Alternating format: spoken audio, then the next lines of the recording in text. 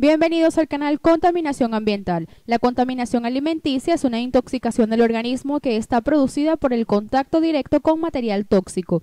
Este material es desplazado por muchos tipos de alimentos. Entre ellos destacan los líquidos y los sólidos. Esta clase de contaminación es producida por la ingestión de diversos alimentos que poseen elementos contaminantes. Esos elementos pueden ser orgánicos o inorgánicos.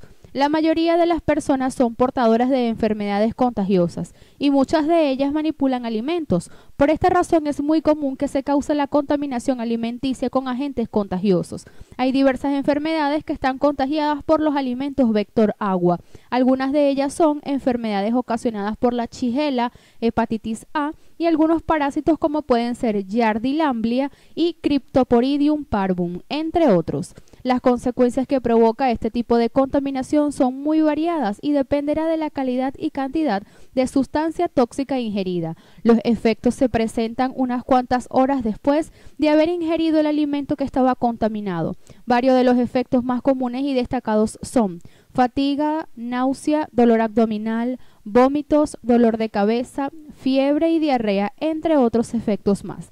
Una persona se puede intoxicar por este tipo de contaminación si consume una cantidad específica del tóxico. La dosis afectará dependiendo de la persona que haya consumido el contaminante y de otras variaciones como lo son la edad y la salud de dicha persona.